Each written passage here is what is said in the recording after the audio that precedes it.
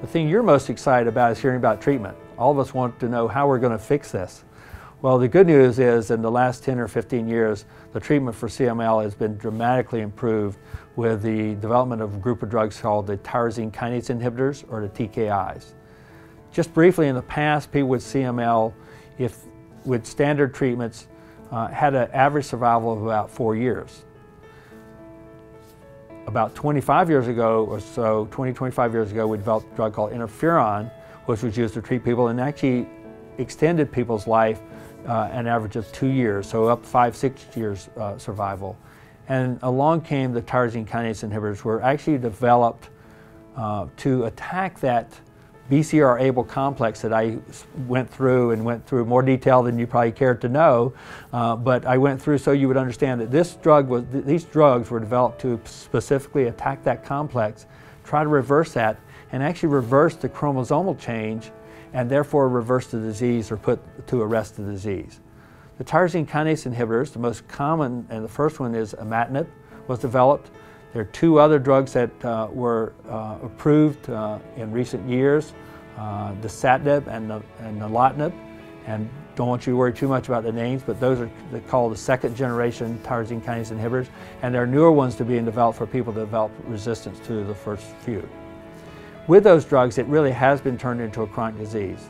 Uh, people are, well over half of people are living 10, 15 years. These drugs have only been used for about 15 years, so we don't know how long this can go. But of patients who received the original treatment with uh, imatinib, uh, now over 12 years ago, 80% um, of them are still in remission in chronic phase, very few having progressed to acute leukemia.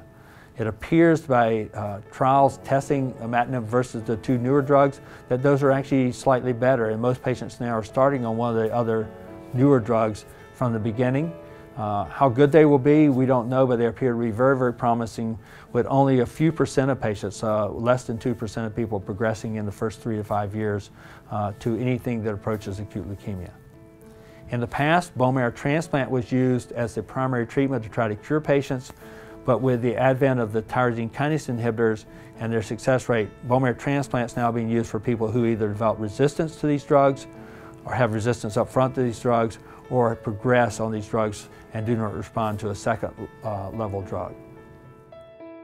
When you're first diagnosed, you may start on a drug called hydroxyurea to try to suppress your white blood cell count while a diagnosis is confirmed, but very soon you'll transition to a tyrosine kinase inhibitor or one of the TKIs. These drugs are very well tolerated. They're pills that you take either once or twice a day. You do need to take them. If you don't, they don't work. Uh, and so it's very, very important for you to take your drug and do not miss it because if when you have periods of taking your drug and missing your drug, there's a higher risk of developing resistance over time. Your doctor will follow your progress by initially checking blood counts, but very soon your blood counts will normalize. In the first two to three months, they usually normalize. Uh, over time, the Philadelphia chromosome will gradually disappear, and your doctor will be following you primarily with the PCR testing that I mentioned earlier, and they will check those approximately every three months and see that level go down and down and down, and they'll share those results with you. That's very exciting, and hopefully over a period of six to 12 months, that number will get very, very low and maybe down to zero. That is the major way of following your disease. It's the major prognostic factor of seeing not necessarily how rapidly it goes down, but the fact that it does continue to go down and ultimately gets down to what we call a three log reduction. I won't dare to try to explain log functions to you because for many of you that was many years ago in school, but uh, we have measurements of where we want you to be at different points in your treatment and where we want you to be at one year, where we want you to be at two years. And if for some reason you don't meet those milestones or you reach those and your, your PCR test starts to go back up, there's additional testing we do to look for mutations or changes that uh, are associated with resistance and whether we need to move to a different drug or whether we need to consider transplant if that happens. For the majority of patients that will never happen, but for the few for whom that does happen, there are alternative treatments, such as a newer drug called ponatinib that's been developed for people with, with certain resistance mechanisms, or possibly moving forward with a blood and marrow transplant at that time. For patients who are treated with the TKIs, they're generally well tolerated. You do have some dietary restrictions with some of the drugs. You have a few medications that you need to avoid. Some of the medicines that are used for peptic ulcer disease, for, for reflux, Uh, the so-called PPI, so proton pump inhibitors, can have some impact. So ask your doctor about your, or, and or your pharmacist actually about the, the particular drug you're on and what restrictions you might have in either diet or medications, and if there's certain things you need to avoid um, uh, when you're on these medications. They can make these medications less effective, and the last thing we want to do is do anything to uh, uh, get in the way of you having an excellent response to what's an exciting and, and, and very, very, very effective group of drugs. So when you talk to your doctor about CML, uh, make sure you let them know any side effects you have.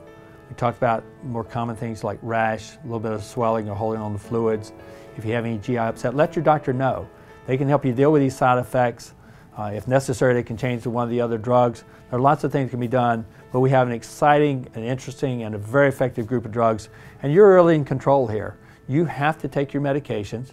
Uh, you have, if you have problems with your medication, work with your doctor and find something you can take. But this is a disease that we think we really can help you have a very normal life, and we want to help you do that. You help us by telling us anything, you, any problems you have, and if you have any issues taking your medicines, let us. But above all, help us find a drug that you can take on a regular basis and help us turn this into a chronic disease that you can have a normal life.